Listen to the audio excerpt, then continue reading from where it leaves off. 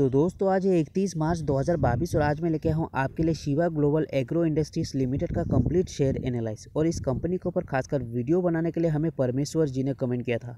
सो, अगर आपका भी कोई क्वेरीज है तो प्लीज़ नीचे कमेंट बॉक्स में कमेंट कीजिए ताकि हम आपके लिए भी अलग से वीडियो बना सकें।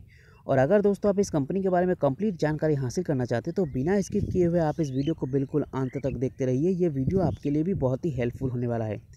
इस वीडियो में दोस्तों, सबसे पहले हम इस कंपनी का फंडामेंटल को जानेंगे, बारीकी से हर एक चीज़ को और चार्ट पैटर्न को एनालाइज करके मैं आपको बताने वाला हूँ कि आपको इस वक्त इस कंपनी पे निवेश करना चाहिए कि नहीं।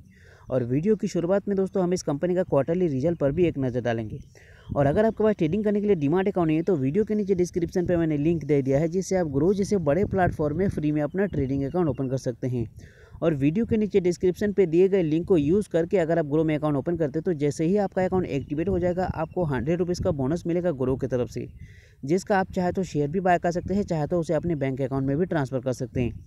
तो दोस्तों, चलिए शुरू करते हैं। मैं आपको सबसे पहले इस कंपनी का क्वार्टरली रिज़ल्ट एक नज़र दिखा देता हूँ। तो ये है इस कंपनी का दिसंबर 2021 का फ्रेश क्वार्टरली रिज़ल्ट। अगर रेवेन्यू पे देखेंगे तो इस साल में रेवेन्यू पे प्रॉफिट हुआ है कंपनी को 25 परसेंट का। नेट इनकम दोस्तों 65 परसेंट से ज़्यादा कंपनी साल में प्रॉफिट में है। नेट प्रॉफिट मार्जिन में लगभग 32 परसेंट के आसपास कंपनी को प्रॉफिट हुआ है इस साल में। ऑपरेटिंग इनकम में दोस्तों लगभग अड़तीस के आसपास कंपनी प्रॉफिट में है इस साल में। वहीं अगर कंपनी का कॉस्ट ऑफ़ रेवेन्यू देखा जाए तो चौबीस परसेंट का शानदार प्रॉफिट हुआ है कंपनी को इस साल में। तो क्वार्टरली रिज़ल्ट के मुताबिक ठीक ठाक है, ठीक है? ठीक ठाक है, बहुत अच्छा नहीं है। अगर आप इस कंपनी पे निवेश करना चाहते हैं तो पहले अपनी तरफ़ से इस कंपनी को बारीकी से समझ लीजिए, उसके बाद ही निवेश कीजिए। इस वक्त तुरंत मैं आपको इस कंपनी पे निवेश करने का सलाह बिल्कुल नहीं दूँगा, क्योंकि मैंने कंपनी का चार्ट पैटर्न देखा है, बहुत ही अच्छा नहीं है। थोड़ा सा नेगेटिव पे ज़्यादा नज़र आ रहा है मुझे। फिर भी चलिए, एक नज़र हम इसका कंपनी का फंडामेंटल समझ लेते तो मैं लेके चलूँगा आपको स्क्रीनर डॉट इन पर तो मैं आपको लेके आ चुका हूँ स्किनर डॉट इन पर शॉर्टकट में, बता देता हूँ, ये कंपनी फर्टिलाइज़र में काम करता है, ठीक है? इस कंपनी का टोटल मार्केट कैप आप यहाँ पे देख सकते हो सेवेंटी एट करोड़ का है इसका करंट मार्केट कैप अगर आप इसका शेयर प्राइस देखेंगे सॉरी थोड़ा सा टेक्निकल इशू हो रहा था यहाँ पे आप देख सकते हो सेवेंटी एट करोड़ का इसका market cap seventy eight rupees का इसका शेयर प्राइस भी हो चुका है। कुछ दिन पहले सौ रुपये के आसपास जा चुका था इसका शेयर प्राइस अभी उन पर बिज़नेस कर रहा है। अगर इसका लोएस्ट प्राइस देखा जाए तो सत्ताईस रुपया रहा इस साल में इस कंपनी का lowest price price earning ratio का इस वक्त इस कंपनी का नंबर ठीक ठाक है। बहुत अच्छा नहीं है, लेकिन ठीक ठाक है। कंपनी का बुक वैल्यू आप देख सकते हैं, सौ रुपये के आसपास है। लेकिन लॉन्ग टर्म पे ये कंपनी आपको अच्छा खासा डिविडेंड भी दे देता है। ठीक है? कंपनी का रिटर्न ऑफ़ कैपिटल एम्प्लॉयड का नंबर्स भी इस वक्त ठीक ठाक है।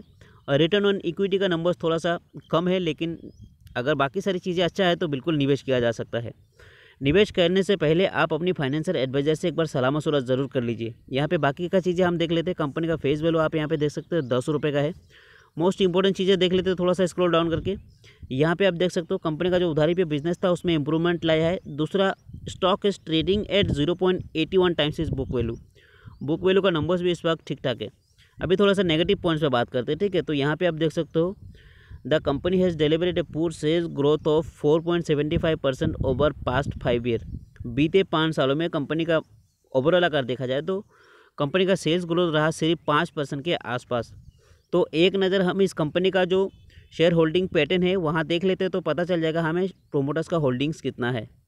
तो मैं आपको लेके आ चुका हूँ कंपनी के शेयर होल्डिंग पैटर्न पे। आप यहाँ पे देख सकते हो 58 परसेंट का शानदार होल्डिंग है इस कंपनी में। प्रोमोटर्स का यहाँ पे डोमेस्टिक इन्वेस्टर का होल्डिंग ज़ीरो हो चुका है इस वक्त। गवर्नमेंट का थोड़ा सा स्टेक है इसमें zero point zero two percent का, लेकिन सबसे अच्छी बात है कि गवर्नमेंट का स्टेक है इस कंपनी में, ठीक है, वो होना सबसे बड़ी बात है। यहाँ पे पब्लिक का आप देख सकते हो, फोर्टी टू परसेंट के आसपास पब्लिक का होल्डिंग है तो कुल मिला के बहुत अच्छा फंडामेंटल नहीं है ठीक ठाक है, लेकिन गवर्नमेंट इस कंपनी के साथ में टिका हुआ है, बोल के थोड़ा बहुत रिस्क उठा के इस कंपनी पे निवेश किया जा सकता है। निवेश करने से पहले मैं आपको फिर से कह देता हूँ एक बार, आप अपनी फाइनेंशियल एडवाइज़र से सलाह मशूरा ज़रूर कर लेना दोस्तों। तो चलिए अभी हम इस कंपनी का चार्ट पैटर्न को एनालाइज करते हैं, देखते हैं क्या रिज़ल्ट निकलता है।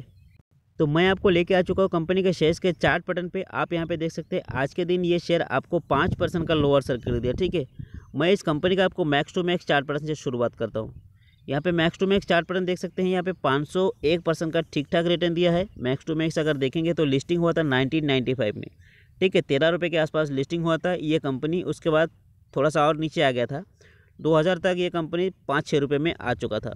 हाईएस्ट बनाया था 2010 में ये कंपनी लगभग अभी का जो हाई है उसके आसपास जा चुका था।